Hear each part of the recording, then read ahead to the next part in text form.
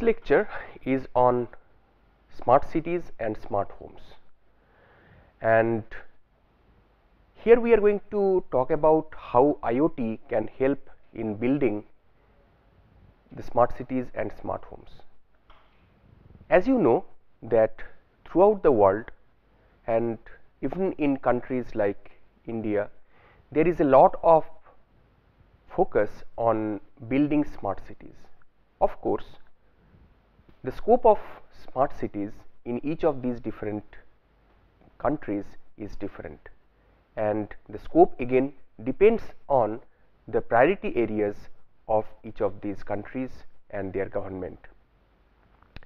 Now, for, for instance, in India, since the last few years, there have been a couple of cities that have been identified and phase wise these cities have been given funds to build or to transform them as smart cities.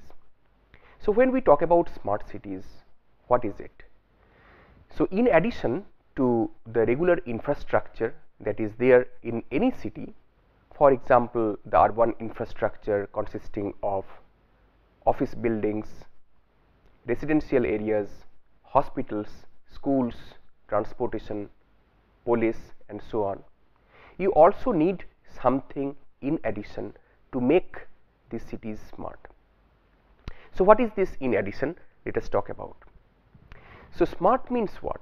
Smart means that it is in terms of the services that are given to the respective stakeholders of these cities. So, citizens, citizens are able to do things in a better manner, in an improved manner than usual and how is that made possible? That is made possible with the help of nothing but the ICT technologies, information and communication technologies, which also includes electronics, embedded electronics, different other advanced uh, technologies in electrical uh, in, uh, electrical sciences and so on. So, computers, electronics put together can make these cities smart. So, let me just take an example at the outset. So, first of all let us consider any smart city. So, if we are talking about a smart city, we need to have the basic components for example, transport,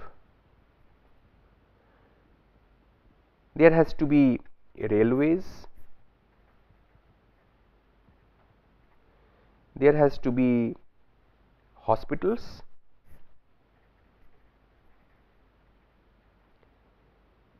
There has to be schools. There has to be let us say traffic control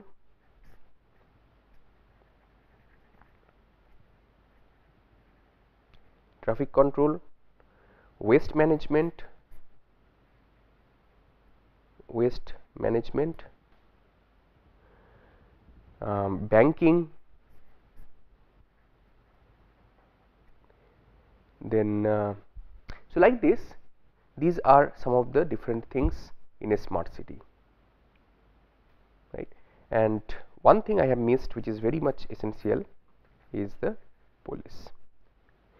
So, as you can see that we have to transform all of these different components of any city to be smart so, for which the technologies that we have studied so far in the previous lectures will have to be taken help of. So, definitely we will have to take help of sensors, sensor networks, sensor networks, then actuators, then um, the different other communication technologies RFID, NFC, um, Z wave and so on and so forth. So many different things that we have covered in all these previous lectures of this course on IoT. So, all these will have to be used in order to make this transformation. So, these are the different ICT information and communication technologies that will have to be used right. So, so what is going to happen is in an IoT environment there has to be lot of these interconnectivities that have to be there.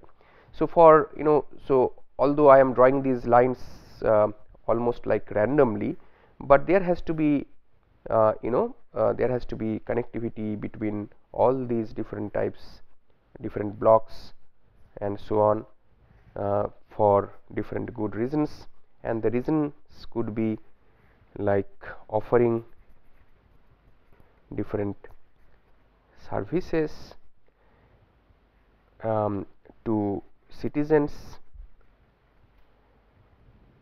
So, see services means that in a smart way people would be able to do different things. For example, if it is a healthcare facility, so from uh, very easily you know if something goes wrong let us say with a school child in during the school hours very easily the hospital can be contacted not over telephone any longer. I mean of course the telephone connectivity the traditional ones would be there, but in addition you know there would be smart messaging and so on. The ambulances would come. There would be continuous monitoring over the ambulance of the child who is being transported to the hospital from the school.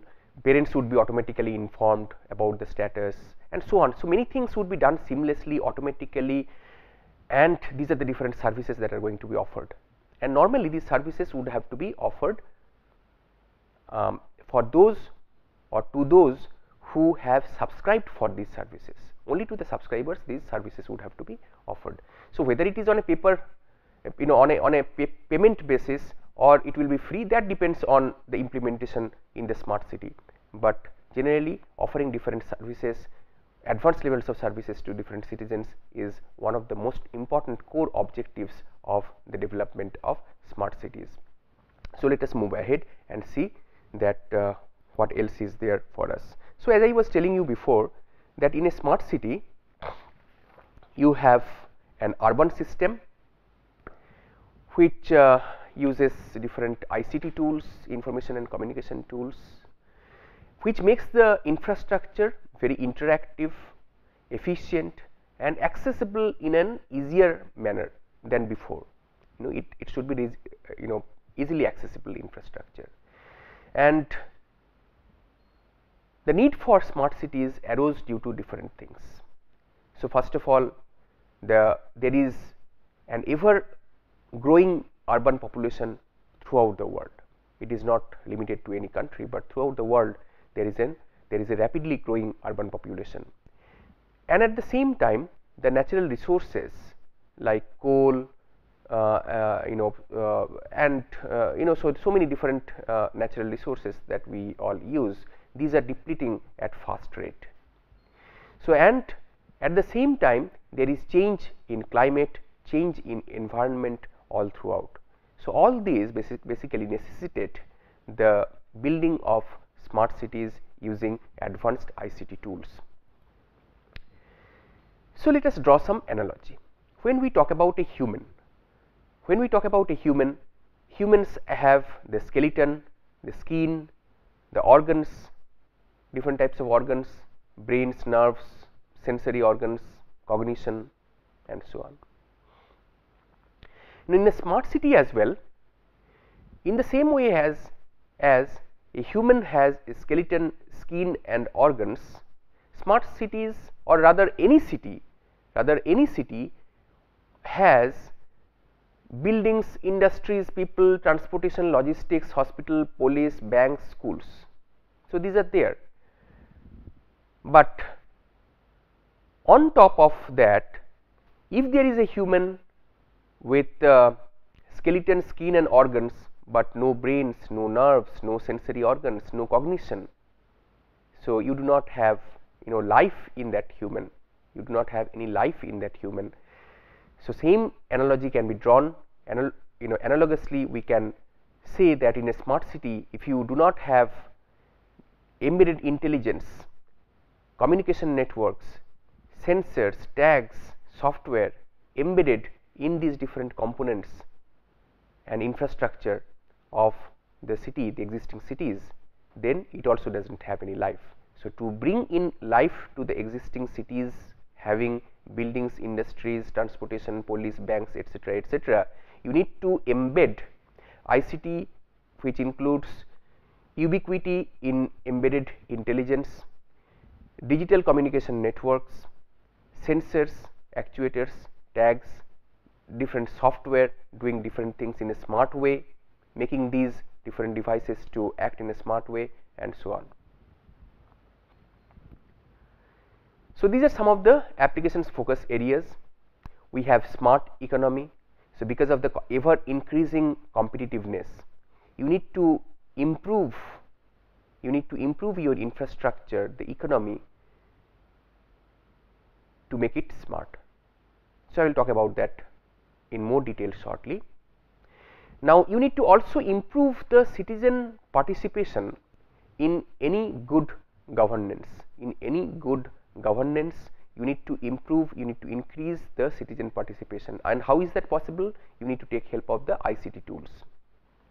Social and human capital, you need to make the social and human capital also smarter by giving them different technologies, different tools, the ICT tools, then smart mobility to improve the transportation with the help of ICT, with the help of ICT, you know making the transportation smart, smart mobility, natural resources, so smart environment, you know so basically you know you need to make your environment smart, there should be less you know harmful or toxic gas uh, emissions or other sorts of waste uh, disposals you know these should be uh, reduced and this should be done in a smart way without basically affecting the environment that way conserving the natural resources smart living which would improve the overall quality of life of the citizens. So, these are some of the application focus areas of smart city. Now, whenever when we talk about smart city one of the most important things is smart economy. So, the economy has to be improved over what already exists. So, let us say that in any economy what do you need in addition to the existing economic infrastructure like industry uh, of different types and different other economic domains including even like schools, hospitals etc., etc you also need to improve the economy by including by involving the growth of startups, then indigenous uh, diaspora and different founders of different technologies all of these have to be there. And they have to be interconnected. They have to be interconnected with different other components. For example a venture capitalist. A venture capitalist have to be interconnected with them. The international diaspora along with the indigenous diaspora, then academic uh, academia, then uh, public sector uh, buyers, worldwide buyers, government agencies, global MNCs and so on. So, they, they all have to be interconnected, internetworked together not just at the connectivity level, but so that this connectivity has to be there so that you know different types of information, different types of services are made available to each of these different components in a smart manner. So, they should be able to get these services whenever they need, you know whenever there is an useful use case you know from the different components they would be participating in order to improve the quality of fulfillment of the use case. Let us talk about governance. In governance, there is at the core the government bodies, the government offices and at the same time the citizens. So, these government agencies, citizens and officials, government officials these are all core to any governance or any government body. Now, in addition you have all these peripheral ones like banking, finance, reforms, safety, surveillance, management, public services, emergency services and so on. Now, in a you know in a regular city what happens is typically traditionally they all they function sort of in isolation. There is some minimal connectivity between them, but these are not again smart connectivity with the help of these ICT tools.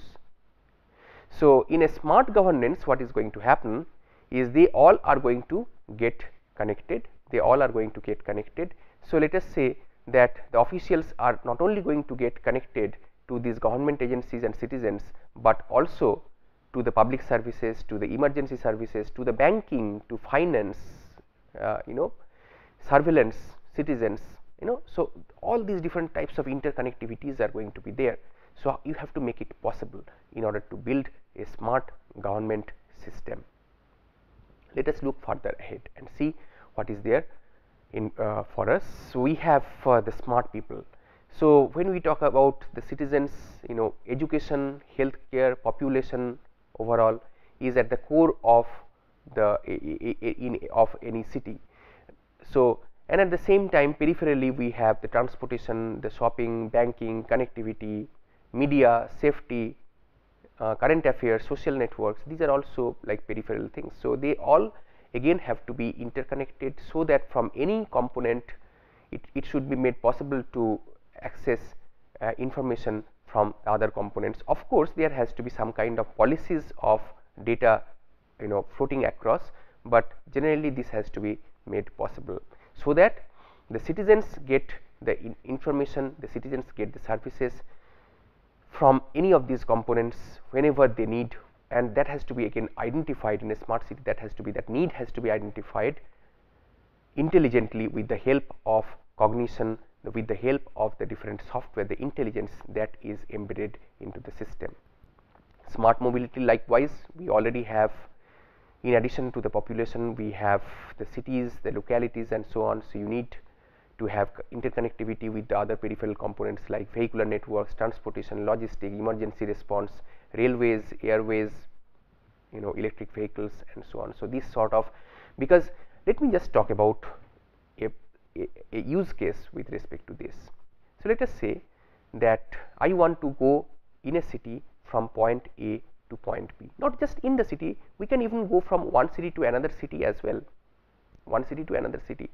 Now, what should happen is that the information should be made available in such a way, I am just giving you a simple use case that let us say that I want to book a train from city x to city y or a point x in a city to point y in a city. And let us say that the the road that I am going to take is going to be very much congested or it is going to be uh, very expensive. That particular route is going to be very expensive.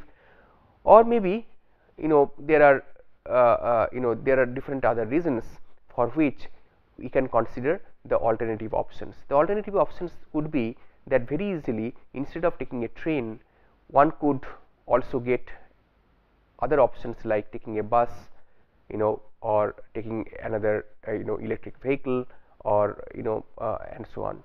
And these again the bus, the train etc., these also have to be connected with the police the police and the emergency vehicles. So, emergency vehicles because for obvious reasons if there is some kind of an accident etc., etc., and that the emergency response team should be able to get information on the fly you know. So, whenever it is required they should be able to get uh, information and then the action also has to initiate with the help of these uh, tools in a smart manner. Then we have the smart environment where in addition to the government agencies, localities, population there there are components like waste management waste disposal you know agriculture you know forest monitoring pollution monitoring disaster management green construction smart energy these all these different components inter internetworked together interconnected together in a smart living kind of scenario you we have this we have the localities population uh, serving uh, servicing agencies these interconnected with all these different other peripheral components as you can see in front of you in this particular slide so, let me just give you another example before we go further ahead. Let us consider a smart city where where we have is a school. We have a school. So apparently or rather traditionally in a school in any school what you know the schools basically function in isolation. The schools basically function in isolation in the sense that you know they do not really have to interact with the other components of a city that much. But in a smart city what is going to happen is we have these other other components like transports, railways, we have the hospitals, we have traffic control, we have the police, we have uh, did I say hospitals, uh, hospitals I have already said like this actually we have different other things in a smart city. So, you know what is going to happen is if you have this kind of interconnectivity or even between police and transport, you know schools and hospitals, hospitals and transport, you know railways and this thing and like this, then let us say that when a school child from his home he wants to come to the school, he has information about the different forms of transport that he can take. And let us say in an unevent in an uh, you know in a in an emergency uh, in the road while going uh, there is some kind of accident or whatever then correspondingly the police has to be informed and also uh, the traffic control also has to take over and uh, also the hospitals have to be informed so that the child can get health facilities on the road. And the same thing can happen inside the school as well. Once this once the child is inside the school the same thing can happen.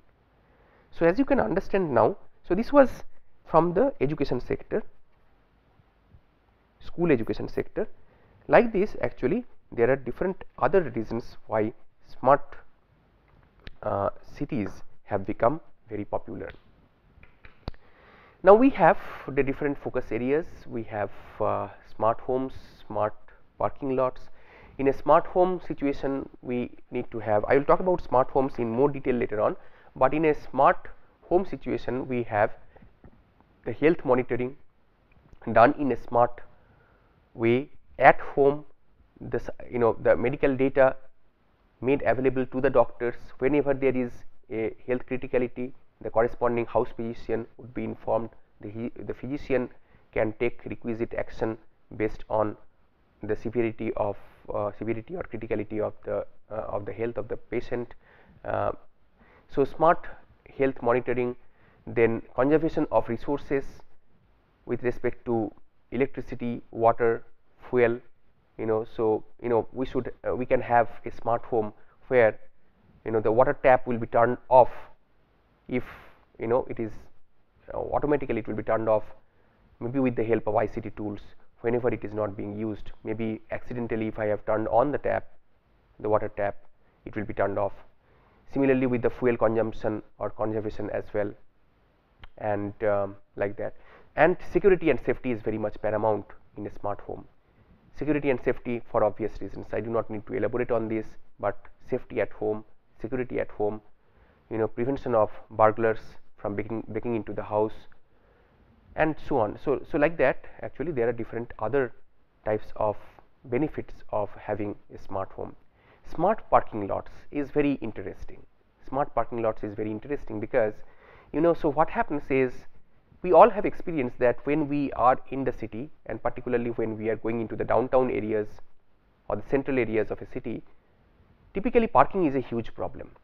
So, sometimes it might so happen that in some places you do not have any parking spot at all and maybe there are few other parking spots parking lots in the city which are vacant or relatively vacant and how do I get this information until I physically go there and get this information uh, get this information but you know that is basically infeasible however if we have a smart parking solution in a city then one can one can from the mobile device inside the car one can get access to this information about which parking lots are available, which ones are not and dynamically that information can be updated and made available to the users. And other things like auto rotation of vehicles to empty slots, empty parking lots, auto charging for the services that are provided, detection of vacant lots in the parking lot and so on. Smart vehicles with respect to assistance given to drivers during bad weather if there is a bad weather condition the low visibility condition the vehicles would be assisted about you know how to drive ahead you know what are the different ways the routes that can be taken from a particular point to the destination and so on.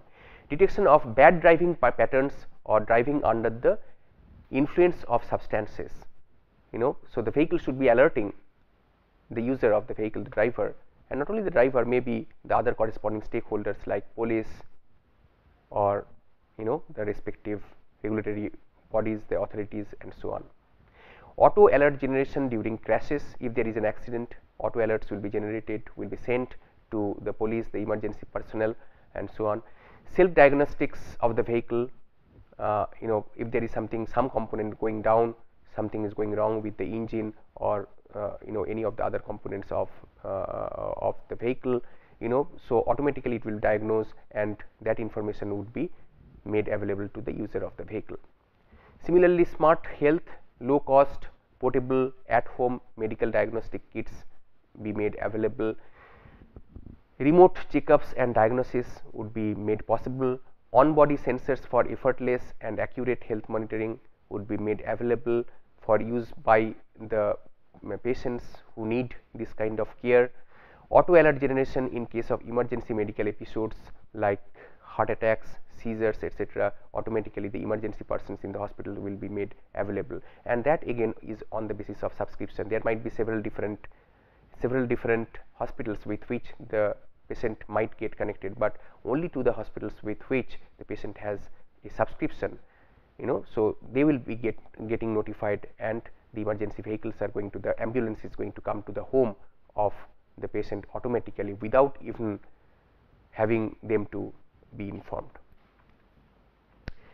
Pollution and calamity monitoring, monitoring for weather or man-made based calamities, alert generation in case of above threshold pollutants in air or water. So, you know, so nowadays actually we have all these air monitoring systems, water monitoring systems. These are in different isolation isolations.